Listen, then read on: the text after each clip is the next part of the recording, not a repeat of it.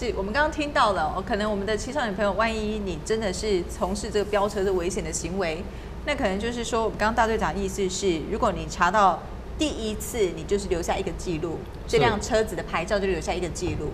查到第二次，他可能就是有法源可以把你整台车子就没收。呃，我再详细说明一下哈，根据《道路交通管理处罚条》第四十三条第一项第一款，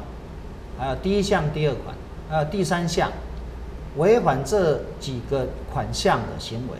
我们可以第一时间就可以给他没入，呃，就调扣他的牌照三个月，就根本不用等到第二次了。对，那如果他是公共危险，我们就把他车子就查扣，哦，因为人是移送地检署，车子我们就可以办查扣，是，同时又可以告发第三条四十三条的规定。那这个四十三条行政法主要的用意就是配合后续的。如果他有第二次再违反第四十三条第一项第一款第一项，还有第三项的规定，我们就可以执行没入车辆。那没入车辆对青少年朋友来讲损失非常大，是，尤其是他最喜欢的车辆哈，他每次骑出来都是把他车子打扮的漂漂亮亮，是啊，包括灯光，包括声音，包括它的各种装饰，他把它照顾得很好。如果因为这个车辆，第二次再来飙车，被查扣以后，被没入以后，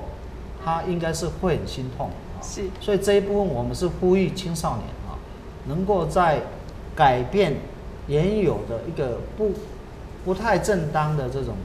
这种飙车的习惯，从事比较健康的一个活动。是。好，我们在这边哦，听完了我们大队长非常非常详细的说明之后呢，我们这边就要请教一下我们陈慧文议员哦，因为我们知道在这个县市合并前跟县市合并后，因为呃整个呃市府的组织编制它可能相对不一样了，那当然它有一些做法调整的不一样。其实我们想要请教您的就是说，呃，我们以在原高雄县一直到现在高雄市的部分，那您对于警方它的相对的这些做法哦，如果我们要打个分数，你要怎么样打？要打分数啊！你说把高雄县跟高雄市分开来打，就是说我们现在的作为替他们打分数。对，就是原高雄县的时期哦，你会觉得可不可以跟我们分享一下？就是在那个时候，可能大家的做法是什么？那你帮他打几分？那现在合并了之后，你看观察现在的，那你怎么给分数？呃，因为现在来讲，跟因为之前碰呃接触高雄县的哦，看到他一直以来的一个作为，我。比较有在观察了哈，那其实之前他其实都很用心，我凭良心讲哈，以呃不管是分局的也好，或者说哦相关的这些单位，他们其实都很用心在飙车主的部分，希望能够去导正这些青少年他的一个正确的观念，哦，那希望不要去从事这些危险的行为，因为这有时候是害人又害己，真的哦，那有时候真的也是会呃等于说。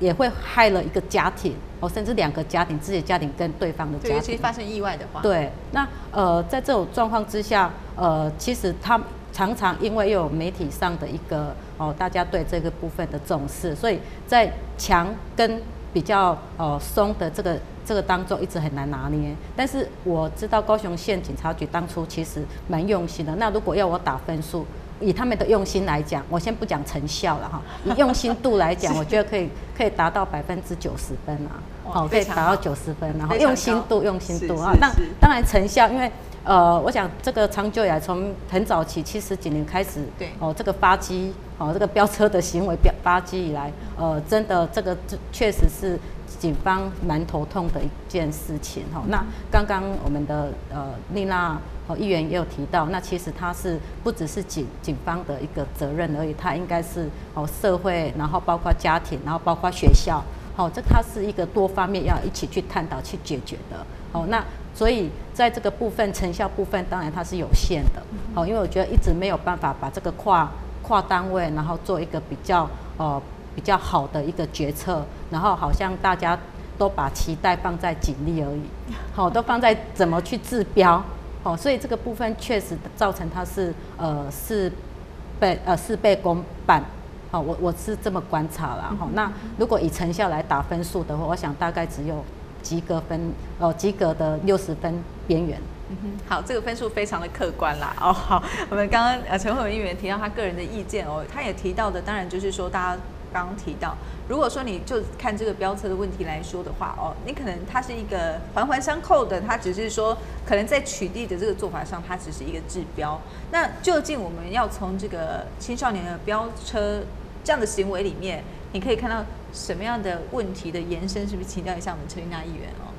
是我是呃，我我想好像呃飙车主的朋友，当然我们也很期待他能够去做其他的休闲活动，也许同样是寻求刺激，或是需要一群呃可以认同的朋友。那这样子的一个就是生活上面的转移，其实很需要家长的协助，跟他其他同同才朋友的协助。那这样子的一个呃，就说他从飙车的这个生活圈子要转到另外一个生活圈子，我相信这个中间要让他去转移的时候，事实上是需要靠社会很多不同的力量的介入。那但是我刚刚说回来就是说，其实因为我们的执法单位是在警察局，对，那因为警察局它已经是在第一线，当他这个行为发生的时候，它立即性的会有制止的作用。但是当警察局发现说有这个问题的所在的时候，事实上他就必须要去做整合的工作。当然应该要提出来，就是说去研究，就是说这一群呃，就是说。青少年的朋友，然后相信我们去研究过，呃，这些飙车族，事实上他从十几岁到二三十岁都有。那这些朋友为什么要加入这个飙车族的行列？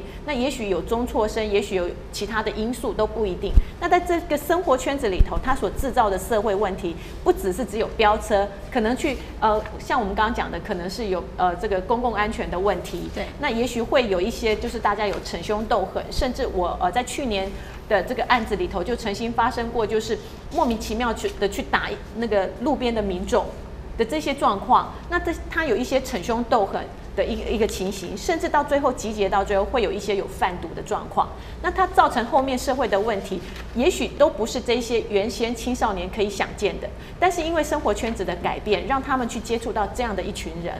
那他们去接触到这群人的时候，可能就会导致他们在这些行为上面的不正当。那所以我觉得在这方面来讲的话，其实，在警察局它是最好做去去做一个统合的。当他发现这些问题，然后症结所在，就应该要去集结其他的相关单位去做一个处理。那所以你说现在呃教育局不进来去做参与的工作，或者说警察局的部分，他有没有去研究说说这些年轻人，当我抓了他以后，我是不是只有呃，就说呃，抓到他，把他送到法院去，或者说我没收他的机车，就是这么一回事。那我刚刚也想到，就是说你没收机车的这件事情，事实上他会很心疼，没错。可能背后更心疼的是家长，因为他可能不是买车的那个人。那家长他对于这个车子被没收以后，他所回来之后，这些青少年他所受到的可能又是另外一番责备。那家长有没有能力去自行，就说这样的问题怎么去处理？那或者会不会延伸到另外一个问题，说他为了要获得另外一部车子，他会用其他的什么方法之类的？那这些问题其实它可以演变成很多不同的问题。所以我觉得到了最后还是要去讲到，就是说。呃，警察局，你有没有去想到，就是说，其实你还要去想的是，怎么样？除了做治标的工作以外，资本的工作其实也要做。对，就是说怎么帮忙治本啊？那我们今天在节目当中和大家一块来聊一聊的是大高雄地区的相关的飙车问题。那如果观众朋友你对于像是这个飙车族到底要怎么样想办法呢，来帮他们怎么样治他们一下，或者是有没有什么样比较有创意的意见哦？那都会打开卡等另外参问者会来讨论哦，包括咱欢迎你来攻略意见。我们刚刚讲到，其实哦，谈到这个飙车族，它后续会衍生的这么这么多的一些跟治安相关的问题，这边就要请教一下我们大队长的是，好，那我们如果说仔细来看，到底是谁会来飙车？那究竟我们刚刚看说提到的这件事情是一群一群一群，那这一些他到底是怎么样去做一个集结，或者是你们有没有去观察过，可能飙车主他们的这个行为到底是谁？对，这个飙车主刚刚有报告过哈，他的他的成分的那个大部分都是一些中辍生哈，家庭失和的，不管是单亲或者是隔代教养这些学生啊，这些在教育上受挫或家庭没有得到温暖的，那这些的部分我们在查获飙车主名册之后，我们会透过我们的少年队送到学校去。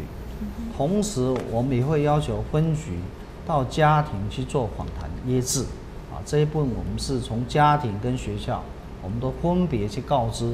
请请学校教育局来帮助辅导这些学生。那除了这些以外，青少年经常涉足的一些场所，是。包括电动玩具店、或者是网咖，或是 KTV，这些都是他们飙车之前聚集的一个地方。我们会事先在这个地方来实施盘查。是，那以往我们每年在七月份开始都有青春专案，对，这个青春案就是在十二点之后是，盘查涉足深夜涉足在这些场所的青少年。那如果是没有啊没有正当的一个一个状况，我们会依规定把他带回去，交给他家长。是，另外，在于刚刚所提两位议员所提到的县市交界的几条路，啊，以往都是高雄县市交界的地方，这些的那个飙车族喜欢在这个地方穿梭哈、那以前就是用驱赶的方式，因为这是县市不同，是，责任不一样，是，所以有这种方式。但现在现实已经没有界限，是，没有界限就不能用驱赶的方式来做。好所以我们今年就用整合、统合的方式来围捕拦截，不能用赶来赶去的方式来处理。好，所以说我们的交通大队这边处理方式有一些调整。我们来接观众朋友的 call in，我们欢迎的是来自凤山区的孙小姐。孙小姐你好，呃，你好，请说。你好，请说。我是觉得怎么说，而且我认为公权力是不能挑战。像美国警方啊，他们在抓坏人的时候，相信大家都在新闻上看过，美国警方他们都有绝对充分的公权力。如果有人多的时候，他们是全力出动。而且我希望中华民国政府更赋予警方要更多的公权力，比较美国所有的军事警力全部都出来来克服这些飙车族，让他所以们不敢犯法。是，所以孙小姐，您您的意思是你希望说可以赋予警方的公权力可以再伸张一些？是啊，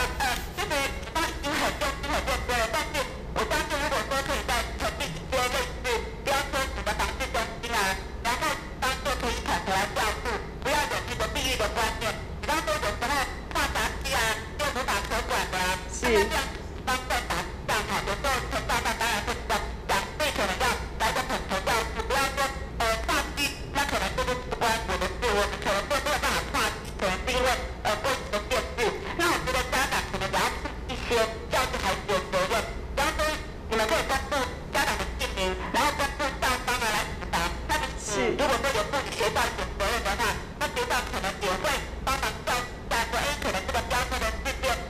也许会减少。那我觉得我们警方很可怜啊，他是我们人民的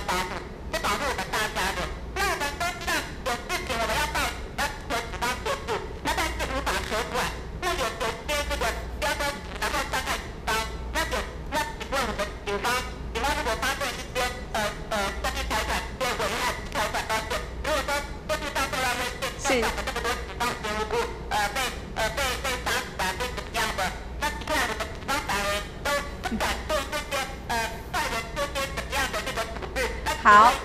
谢谢，谢谢，谢谢，我们谢谢孙小姐哦，有很多的这个意见，包括呢，就是就是在取缔飙车这件事情，到底有没有可能打破甚至辖区的概念哦，或者是还有更多创意的做法来防治飙车问题？先进一段广告，待会高雄现场继续和你来讨论。